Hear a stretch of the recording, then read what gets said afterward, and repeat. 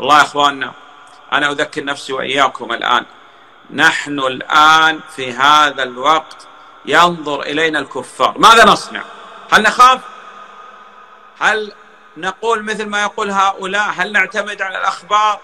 هل نلتجئ إلى الله؟ كيف نكون في وقت الشدة الآن؟ كفار مكة كانوا في وقت الشدة يلتجئون إلى الله سبحانه وتعالى.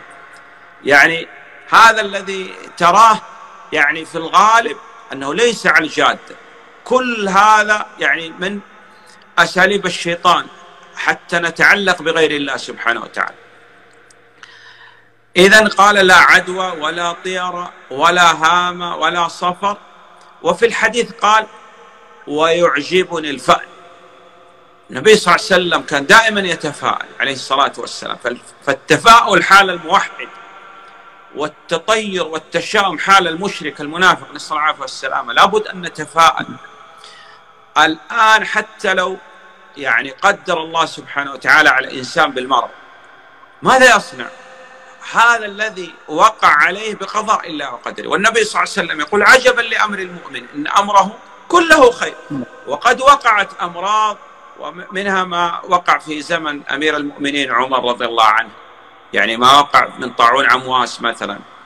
هذا كان بقضاء الله وقدره. ماذا صنع الصحابة رضوان الله عليهم؟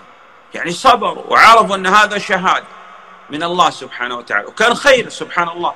كل الخير في هذا. لكن المهم أننا نكون مع الله سبحانه وتعالى. قال ويعجبنا الفعل. إذا لابد نتفاعل لا نتطير الأشياء ليس معنى هذا أننا لا نأخذ بالأسباب لا لابد أن نأخذ بالأسباب. الخاصة يعني في هذه الأيام هناك من يثير القلاقل والفتن. مع الحكام يقول الحكام يريد كذا وكذا ويصنع وأرادوا كذا وكذا. هذه الأوقات أوقات الفتن لابد أننا نجتمع لا نفترق لا. ولا نسمع لهذه الأخبار الإشاعات. ليس وقت الآن الكلام على السياسة هذا ليس وقت هذا الكلام. ليس وقت الآن الكلام عن أخطاء الحكام وكذا. لا الآن الكلام نبحث عن الحلول نجتمع. لابد أننا نتناصح نتعاون نكون يد واحدة.